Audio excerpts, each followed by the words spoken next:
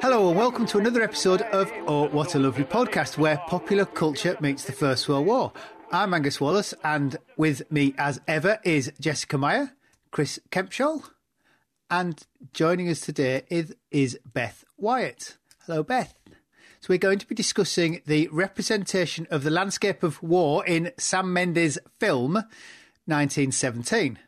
Um, Beth, uh, thanks for joining us. Now, you, have written about the uh, landscape of the Western Front and Gallipoli, discussing British soldiers' emotional experiences. Um, shall we start with how did you how did you come to that topic? So it's actually from um, a book, as I'm sure um, most of us that's happened when we've gone into a new area of research. Um, so it was a narrative book called Where Poppies Blow um, by John Lewis Stempel, and I just yeah came across it in a bookshop one day. It had a very inviting cover with all flowers and animals, and um, it was just another an area of the war that I just had ever crossed my mind really. So I was quite intrigued um, to learn more. Um, and um, yeah, I just found it really fascinating um, learning how soldiers interacted with nature during the war, um, how it kind of affected their emotional experiences. And so that's what led me to um, do my own research looking at the Western Front and Gallipoli. I mean, it, it's yeah, your your uh, MA was it, your thesis you said it was really interesting. Um, I thoroughly enjoyed reading it. it. Had had echoes of the only letter we have from the First World War from my grandfather, and the and uh, of which he he typically it's almost like he's, he's almost writing tropes as they happened, talks about the mud up to his nether regions, and then moved on to talk about cake. Weather and food, you know? yeah, that's it. Uh, uh, uh, and in two pages, I'm not sure there's any punctuation through the whole thing.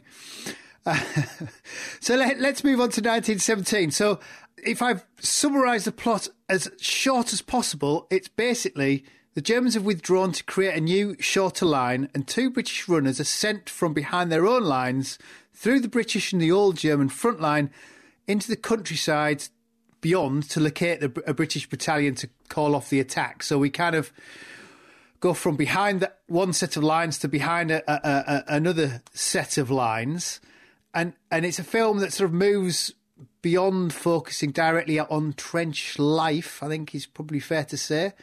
Um, Though, as, as Dan Snow put it in his introduction uh, of, of, of his History Hit podcast, it, it, wanders close to some old tropes of the war, which um, I'm not sure if was flattering or not when he was talking to Sam Mendes when he sort of said that. Um, but there we go. Um, so where, where do we where do we want to begin? How does Sam Mendes use the landscape? Is there any precedence? Maybe we should go backwards. Is there any precedence for what Sam Mendes is doing with the landscape? Yeah, um, I think um, yeah, it kind of goes on from um, a lot of modern First World War films in um, you know kind of focusing on the um, the devastation and horror um, kind of landscape idea. So I find it quite interesting in um, Sam Mendes short interview with the Imperial War Museum. He described how he wanted to represent in the film the devastation of the landscape as took place in the war. Um, so there's a lot of very um, visceral graphic scenes of the big craters and, and mud and just, you know, obliterated trees and just very kind of hard hitting um, visual scenes, which kind of match what he was talking about there. But I actually found it quite interesting, even though he's he spoke about that's what he was trying to represent. When I went to the cinema and watched the film, I was just really struck by um, how it used landscape in actually a way quite different from other First World films I've seen, where, as you said, it kind of moves on from the trenches, the dugouts, um, into wider landscapes, and it kind of sets the trenches more in their setting. And there's actually even the beginning and the end, you have um, one of the main characters, Schofield, sitting up against the tree in this beautiful landscape, flowers and greenery. Those kind of scenes just struck me as being entirely different from the um, the kind of films that I'd seen before. It's it's quite interesting actually because you talk about the beginning of the film, and for me, one of the most memorable moments is the point of entry into the trenches, where you know he goes from this field with a tree in it, and the trench just sort of appears in the field and that in some ways is far more striking than any of the the more traditional representations of devastated landscape. It's it's this sort of quite quiet interjection of the war into the landscape that really struck me when I, I saw the film. So I yeah, I, it's very interesting that it, it's not necessarily the the more traditional tropes of, of destroyed land, a la a Paul Nash picture. It, it's the more bucolic, almost representations of the landscape that really st- stick out. I think. When we did our popular film podcast, and I spoke for far too long than anyone would ever reasonably want to listen about the the depth of field in um, Oh What a Lovely War, and that you know you could see all the way up the hills and and the like. I I remember because I I watched 1917 last night again, and you end up with that same sense of, of depth and scale, but it's always behind you. It's in the direction that they're facing, but you spend a lot of time with the camera facing at them and them heading towards you and you heading backwards. So even with that trench scene, it's the camera pulling back to show that it's just going to keep going and going and going and going and going. All of the depth is in the other direction, is in the direction that they're heading towards. And it's quite often as the camera turns around, you suddenly realize that you've reached a new point and you kind of understand the scale of what it is that you're that you're in amongst. And they do that with the trench scene and the, the approach to the to the cherry farm as well. Do we know if it, how uh, men reflected? How close is the film reflecting upon men's memoirs of how they're remembered uh, after the event, or even during the event? Memoirs might not be the time. You know, obviously written after whatever they've been. Is he drawing is this a piece of popular fiction that's drawing on these uh, memories of the time? Yeah, um, I know from um, the um, the interviews I've listened to with um, cast and crew um, that the film did draw quite heavily on um, soldiers' accounts, and so both their diaries and memoirs, particularly at the Imperial War Museum. So definitely in that respect, I'm not sure how far they kind of looked at landscape themes in the works, as um, that specifically come up in their interviews, but certainly from the accounts I've looked at, um, I was doing this research um, at the time I, I watched the film, um, and I was really struck by how some of the, the use of the more um, positive, idyllic landscapes reflected things I'd read myself from the men. Um, so, in terms of memoirs, it's quite interesting how, um, even amongst descriptions of um, very bleak landscapes, um, you still had some men saying that they um, they still kind of treasured um, and harboured some memories of of positive landscape associations during the war as well, um, and they remained kind of quite vivid in their memories. And so things like you know the sun rising over a particular landscape and the importance of um, birdsong to the men. For some of them, these things still stuck for them afterwards, and not just the um, the bleaker parts of their experiences. And then diaries as well, for example, um, I did find there were men who obviously diaries have been well used in the field to describe the importance of particular things to the men and their morale, such as food and um, you know the weather, how that would kind of affect their mood and their day. Um, and I found for some men, kind of nature operates on a similar level where you know they'd be jotting down birds they'd seen, flowers they'd seen, um, and, and just kind of discussing those experiences as well. Do you remember an extraordinarily irritating interview, or at least for, you know from the professional historian's perspective? Um, it was by the script writer, I think, where just the way she was describing going into the Imperial War Museum and and encountering these letters and diaries as if nobody had ever seen any of these before and they were all hidden away and it was just sort of ah this is you know someone who's used uh, like you beth i've used a lot of these materials in my own work. Um, and it, it was yeah really really quite frustrating to get there books and books and books you know john lewis stemples for that matter uh, books make use of this stuff. Um, at least acknowledge that, that you're not the first. But Am I right in thinking that the, the story itself is based on Mendes' grandfather, great grandfather? Or... If you listen to him talk, when you say loosely based, it, it's it's kind of a, a twenty word sentence, and he's written. A, you know, there's a two hour film from my granddad was sent as a runner to call off an attack. Okay, and he's grown this enormous story from kind of literally a you know a couple of sentences. So it, it's not in any sense his grandfather having these impressions of of the trenches. It, it, it is entirely built on other narratives. And and I think I think even down to the fact that the period in time Mendes goes through and looks for a period in time where there is more movement, and that's why it is when it is. Nothing really to do with his his sort of family stories being passed down it's that particular time. So it, it, it's a thread of an idea that he's fleshed out. My assumption is he's like the idea of doing a one camera move and then thought, let's somehow let's do it to the First World War. And he's had to find some point in time where there's plenty of movement to add in so he can add the landscapes. Um, and I also found um, in possibly the same scriptwriter interview um, where I hadn't been aware of this before, where with with that device of um, the two main characters, you know, they've got to go and be the runners and take this message to stop the attack. She briefly mentioned that in the interview, saying that um, herself, the director, the other team, they were very keen to have that as the storyline, um, not just as an event itself, but in order to um, kind of give, I guess, an anti-war um, message to kind of represent, you know, feelings today about um, about warfare. Um, and she was speaking about, um, you know, quite um, understandably, um, you know, war shouldn't be a last resort. It, you know, shouldn't be a resort at all. And so it's quite interesting actually hearing that they hadn't just thought, oh, that makes you know an interesting dramatic story with um, with the runners, mm-hmm. but they actually, as many films do, they wanted to use that to demonstrate a particular theme on, on warfare and obviously of the First World War itself. It's interesting because, you know, back to, to Angus's question about uh, uh, sort of precedence, um, you know, having just done our, uh, last month done our episode on, on better known films and looking at Gallipoli, where that idea of the runner um, and the, the need to carry messages across landscape is key to that film with its anti-war message. That you know that that that thesis that we were we were discussing a little bit last time of of the extent to which all these films reflect more on on what comes in between than it does on sort of the reality of war um, if you will. Which does make it quite interesting that some of the claims that I think that are made to, to, to, to veracity and the truth about war, um, at least, yeah, that was one of the less irritating things about that interview is at least there was a certain amount of honesty about about the extent to which this was a, a retrospective view of the war as much as it that was being portrayed as much as it was of the truth of whatever that is of, of the war experience.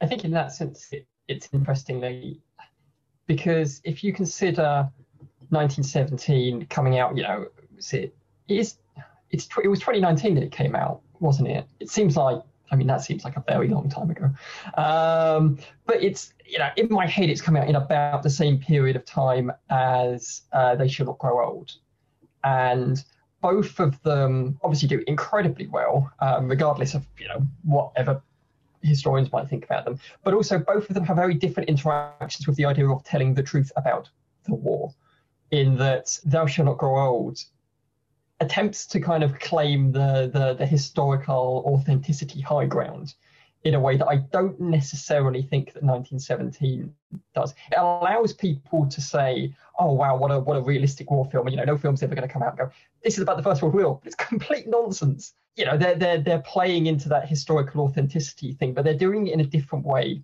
a way that I'm I'm kind of finer with than I was with They Thou Shalt Not Grow Old. Oddly enough, I thought the inclusion of the landscape made it very much more into a Second World War film. Gives this reminiscence of you know Normandy type blown up houses and trucks moving and things, which actually harkens back, in fact, to the big parade. If we go back to that, because that's there's a lot of landscape in that, and there's the trucks driving across the landscape, taking troops to the front, kind of thing. So it's, a, it's a lot closer to to that depiction of war than um, sort of say Gallipoli, which is sort of very much more at the front. One of the things I found, and I, I wonder if um, there's elements of this in Beth's research, is the use of the landscape as some kind of a cue for a conversation about home. So how kind of locating or dislocating the landscape is. And obviously, you know, the cherry trees one is the obvious one in that Blake's talking about, you know, he knows all this stuff about cherry trees, and there's also a nice little kind of um, metaphor for the war in that. Oh, they've chopped them all down. Does that mean there won't be any more? No, don't worry. There'll be even more of them once the once the um, once the stones rot. But I wonder how much soldiers use the landscape as either a way to connect back to home, or I mean, the French landscape when you go out into the countryside is different to England in various parts. So I mean, imagine it could have been fairly kind of dislocating to the extent that I know that various French soldiers during the war, when they went on leave to British areas, were pretty appalled to find that the British had basically changed the landscape of French towns and countryside to be slightly more kind of aesthetically pleasing towards British soldiers. To which I think the French response was, "What the hell do you think you're doing? Um, you do realise we live here." But I wonder if is there something about that, Beth, about the landscape is either, oh, this reminds me of home, or this reminds me of how far away I am from home, because this is just weird. It's not like being in the countryside in, I don't know, Sussex or Yorkshire or, or wherever it is that you've come from. Yeah, um, I actually saw um, both parts of that um, in my research. Um, and yeah, the cherry blossom scene um, was probably my favourite in the film just because it, it spoke to those themes that I've been researching. And yeah, it was really moving um, when um, well Blake was kind of had such a powerful emotional reaction to um, to the space um, and was talking about his his mum's orchard back home um, and you know yeah trying to work out which type of cherry this tree was and um, even Schofield who um, you know was kind of asking him how do you know this? Um, you know was um, was still even though he didn't really know anything about about the, the type of trees he was still you know moved as you said to kind of say oh they've cut them all down and will they grow back? But yeah, I, I really love that scene. Yeah, in my research, um, I've seen um, both of those in diaries and memoirs really, um, where there've been soldiers who um, would write and be like, wow, you know, the song reminds me of the chalk downs of Kent, but you know, noticing a few kind of differences in, in the types of trees and lanes. And yeah, then other soldiers talking about yeah how completely different they found them to home. So that was um yeah really moving to kind of show um those instances in um you know these obviously martial often martial documents like diaries to see their um them kind of getting back into that civilian space and you know remembering with nostalgia um memories of home memories of home landscapes um, and i think that's um that's really interesting.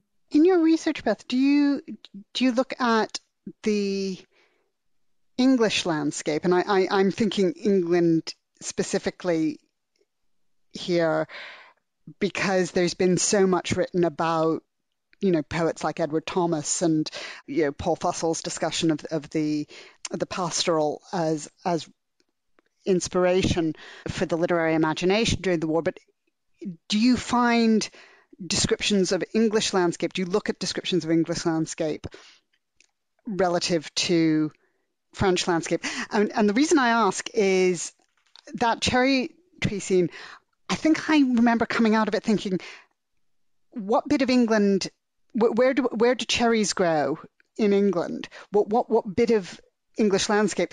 Because what I've found in my research into this is there's a re- when men write about home, it's a very, very localized, specific sense of home.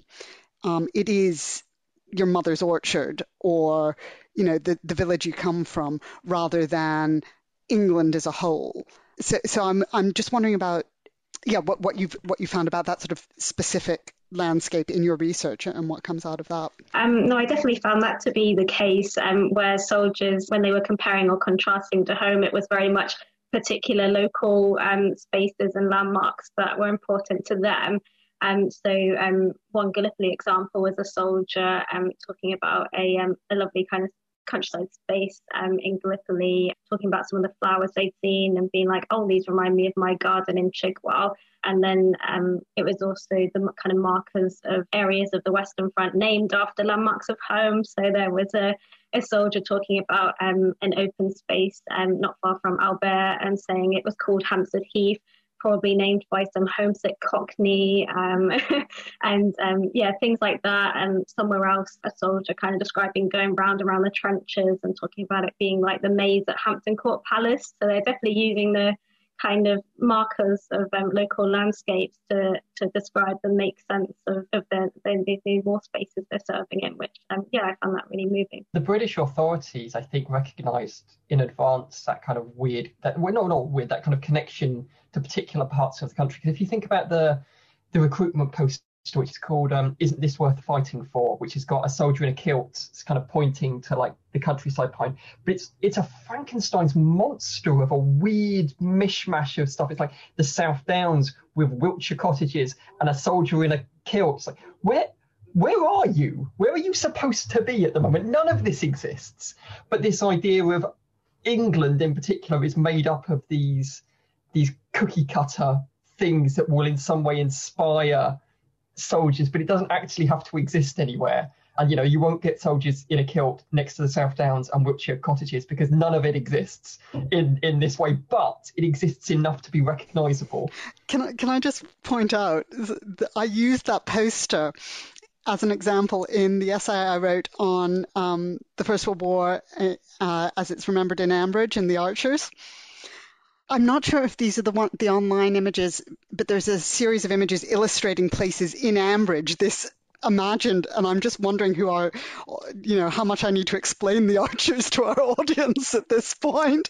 This imagined Midlands rural community um, where the uh, they commissioned an artist to, to create images of, of various buildings and farms um, and the local stately home and the church and things like that. And they're very much in the in the demotic of that poster. This is recognizably how, how England is visualized as propaganda, um, and it's played out into you know 20th 21st century understandings of an imagined bit of England, an entirely imaginative bit of England. I mean, you let me do an entire episode about Star Wars, so I can't imagine that we can begrudge you talking about the Archers. Well, no, it's it's more. Do we do we need to do do we have any non-British uh, audience members who are going to go, the Archers? What's that? I mean, to be fair, we might have a number of British viewers who are always like, the Archers, what's that? Well, well, you know, I'm sure it's on catch, catch up on the BBC if someone wants to listen to 50 years of it. well, no, they've only got, they, they don't have that much catch up, unfortunately. I've been desperately trying to get hold of some of the episodes sort of pre 2000 because um, uh, I, w- I wanted to hear what the, uh, they did around the 75th anniversary of the armistice. Um, but uh, no, you can't get hold of, of, it going that far back. But yeah, uh, seven o'clock, four nights a week at the moment. Uh, you can tune in on Radio 4 and find out what's going on in Ambridge.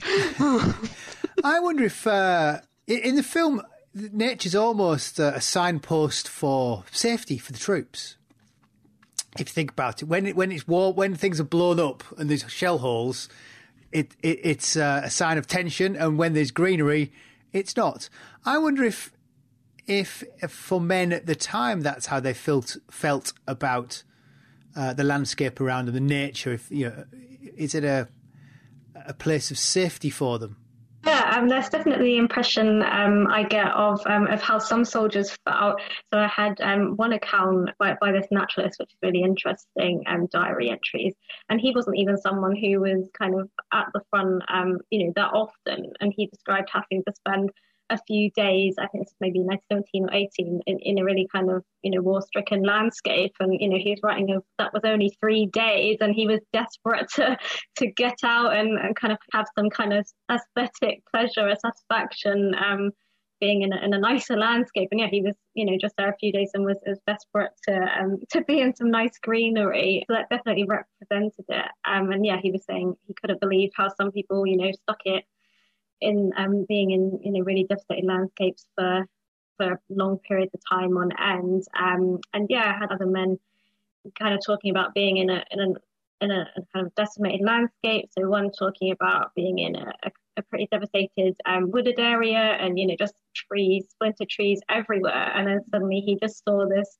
patch of beautiful bright flowers and was you know really excited and collected a box to send home to his mum and um, yeah, the kind of examples like that really show that um, you know I guess when when their morale was um, was down, and you know as you imagine it would be when you were serving in those areas where there's just nothing green to be seen, and and you know the, the weaponry's just um, yeah devastated it. That it must have just had a really nice emotional uplift, even if just for those few moments you just saw you know just awesome nature really. So yeah i think that i think that could be quite powerful. And i think it was something that kind of offered hope as well. Like there's a lot of men who talk um, about um, you know hearing birds in the landscape and how soothing bird song could be um, you know hearing them continue to sing while this all was still going on. And um, yeah i think it, it could kind of be a message of hope. And particularly as well when the landscape started to change um, where particular areas which may have had fierce fighting, you know, it then moved on to other areas and nature started to kind of renew itself. And um, there were men later on who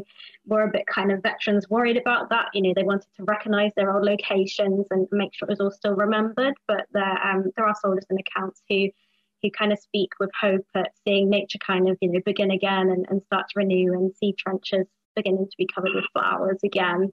And so, yeah, I think nature kind of for some of them was the symbol of hope and regeneration, which you know perhaps they um, you know they could apply, apply to themselves. Just picking up on your point about uh, bird song, I can't remember in the film, and I'm I'm dreadful about um, soundtracks in films. It, it, does that aspect come out in the film? Is the, is there bird song as as part of the film in in those more bucolic scenes, or is it all just visual? I can't remember actually really hearing um, much birdsong in 1917. Um, I feel like yeah, for a lot of the film there was just a very stirring soundtrack. Um, so I don't really recall that side of things in in this film particularly, but um, I did find that the the um, the landscape scenes of um, peaceful green fields. I feel like the way the film um, was kind of was shot so with such immediacy. Like for example, at the end where you see Schofield walking, you know, towards the, the tree, it kind of the camera is quite close to the floor, and you're just seeing kind of every braid, um, every blade of bright green grass and yellow flowers. I think they, um, it just, I didn't really capture that birdsong aspect for me. I don't think, but um the actual the visuals of the positive landscapes. I thought, yeah, it captured them really kind of vividly um, in those scenes.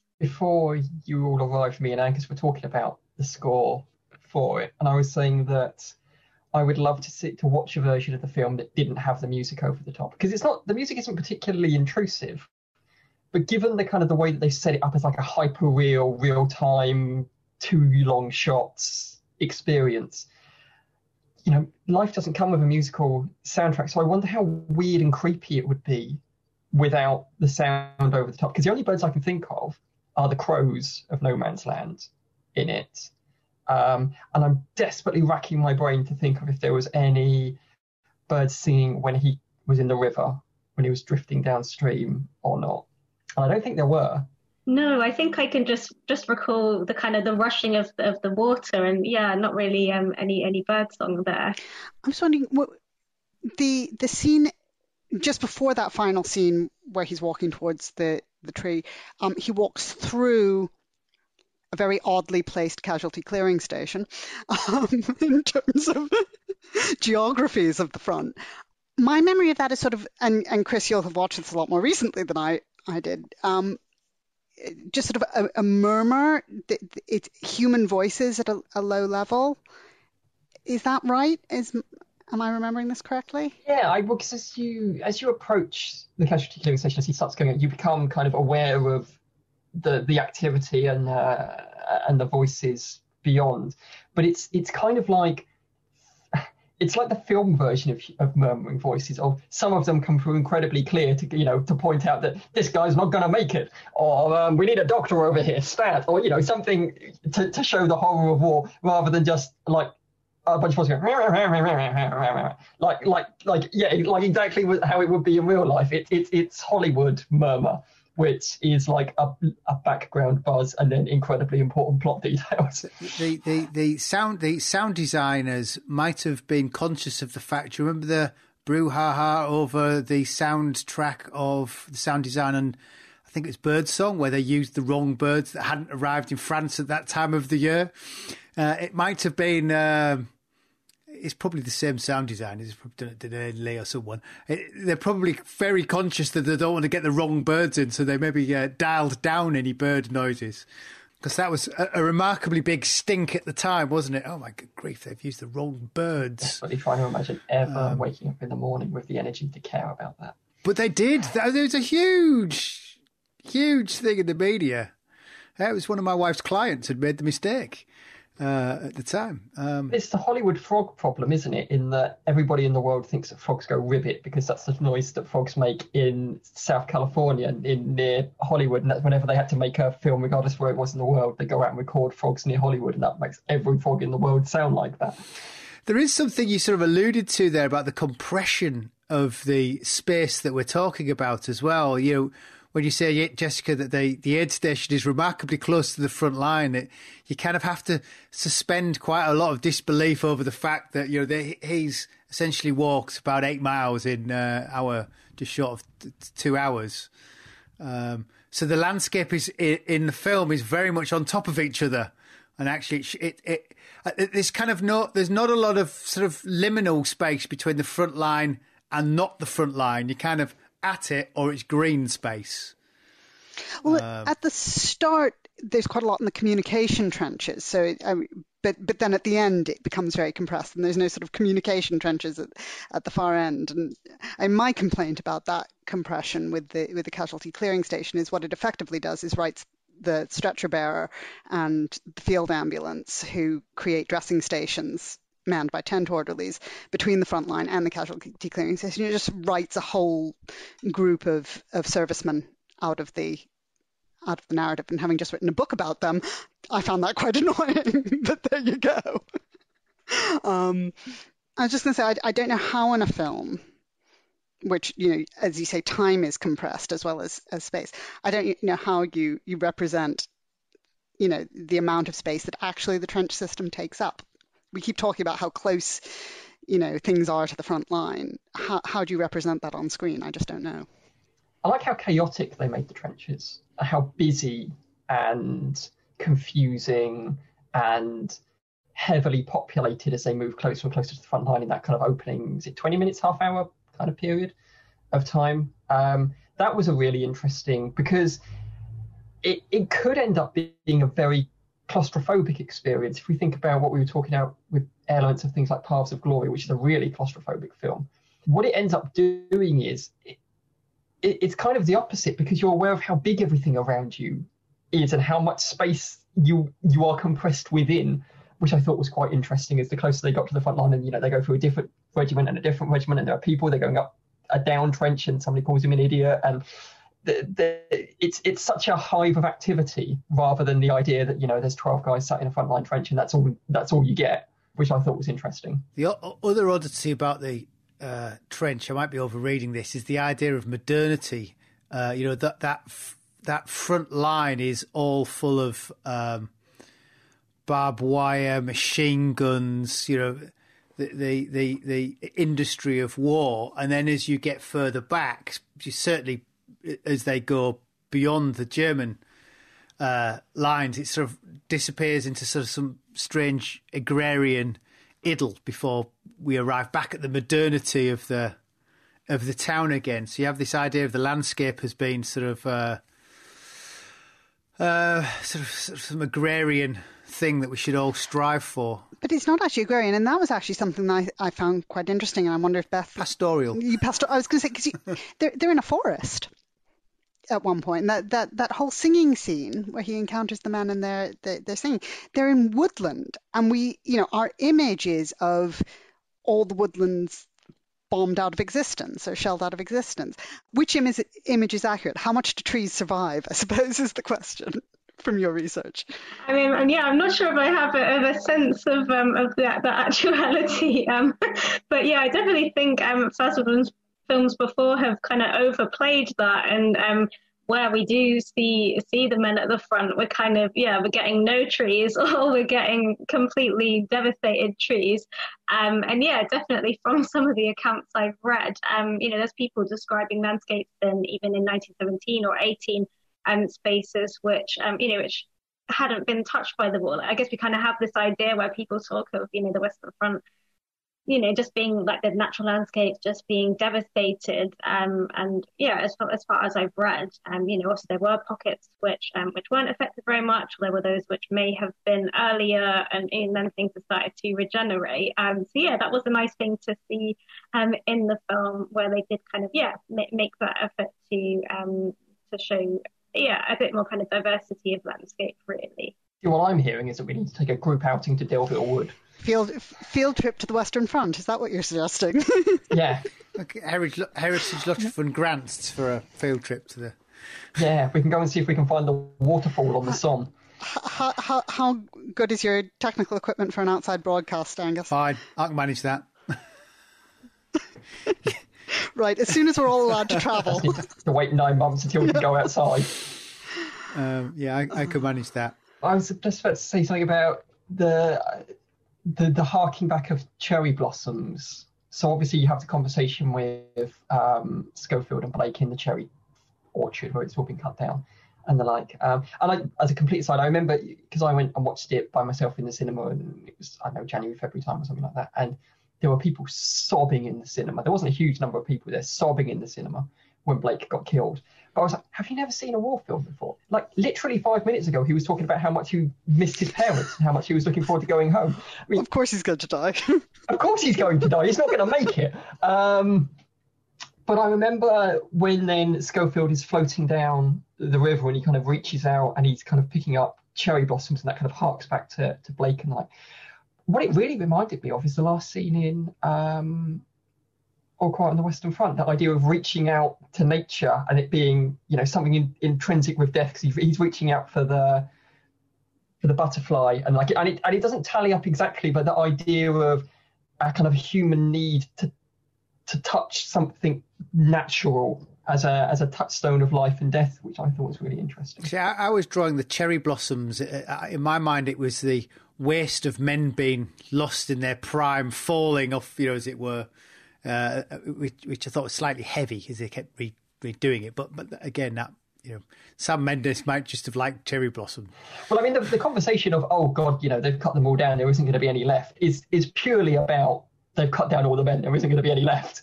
Um, but then the idea of actually, don't worry, you know, the next wave will grow once the stones of the old ones have rotted.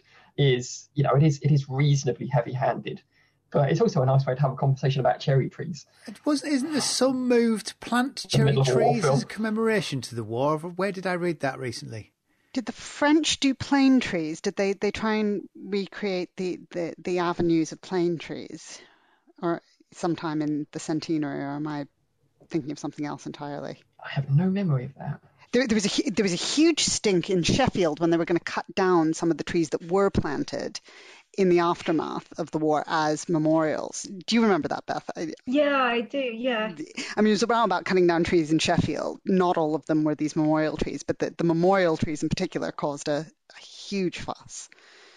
I'm just wondering, Beth, in terms of your your research, you're talking about landscape and men's relationship with nature, but um, some of the most vivid scenes in 1917 are cityscapes and the destroyed cityscape. And do you do you consider men's connection with the landscape of conurbations, if you will, for want of a better, or, or, or urban livings, it might be, you know, villages as well as, as cities, but, you know, is that something that you look at in your research? Um, yeah, no, um, I was more focused on the natural landscapes, but um, I did actually find while I was going through um, some of the men's accounts, there were um, some really moving descriptions of um, when they were in the ruins of Ypres. Um, and I was kind of really reminded of that with the scenes of Schofield um, at Écoust, which were just shot so beautifully with the light of the fires, you know, coming through the arches of the ruins. Um, and yeah, it's um, definitely um, men could have obviously feel connections to those um, urban ruins as well as, you know, natural uh, spaces as well. Um, and um, yeah, you know, I saw men um, talking about being quite sad at, at, seeing how devastated um, Ypres was, um, you know, how kind of grand it had been before, um, and I guess the religious symbolism of, of, a cathedral and things like that as well. Yeah, I think I had another person talking about how it felt very much like a ghost place now because it, it was all ruined and, you know, it just had obviously been the scene of such fierce fighting. Um, so yeah, I think the urban landscape's really, um, really interesting material um, for, for First World scholars as well. I was going to ask something similar because you were talking about how soldiers um, kind of reacted with kind of warm feeling. So you know, seeing nature taking over or kind of returning. What and similar with the cityscape. What happens in reverse of oh, you know, I've we've been stationed here for ages. Like we can see this beautiful forest over the side, and it's lovely, and it's and oh no, the Germans have shot it several hours with artillery, and that's all gone. So what what happens to the men write about what happens when they see the landscape that they have kind of has made up their kind of their environment change in a negative way, whether that's you know we've been stationed at Ypres and it was really nice. It's becoming progressively less nice day by day, or you know the the natural landscape is being destroyed around us. I think I saw um, more most of that kind of in relation to. Um, to things like the muds. I mean, obviously, you all know from the accounts that there's so many of um, of uh, men talking about that real demoralizing feeling with those awful conditions. I'm not sure I saw so much of men talking about being in a particular area and, and then it then um, kind of going the other way and being more negative but they certainly, yeah, did talk the other way around about negative spaces that were, were becoming more positive again. But I'm, I'm sure there are um, examples of that as well. It's interesting when you go to parts of the Western Front now to see which parts have been allowed to have nature reclaim them and which parts have been rebuilt. So obviously, you know, Ypres was rebuilt completely. I mean, the, you know, the ground outside is still trashed. But if you go to parts of the Somme where they didn't rebuild the, the, the villages and they're completely gone, or if you go to parts of Verdun where abandoned villages are, think you can still go and kind of wander around with the, the, the smashed ruins of houses and the like, and they just never even tried to clear them or anything like that. It's, it's which parts have been allowed to be reclaimed by nature and which parts have been repurposed again is quite interesting. Yeah, and that definitely feels like something that was quite contentious for veterans, where having spent so much time in these spaces and, and having kind of learned these um, visual markers um, of, of the landscape and how they navigated it and served in it. And yeah, definitely. And um, there are examples of afterwards where there's these very differing views on what should be done with with these spaces. Um, and I think in one of the edited collections I read for my work, um, there was a, a, description in the 1930s of um, veterans having a, a, big argument over an area of Verdun and how how far it kind of should be preserved to look as it did to them, and how far or how far it should be kind of allowed to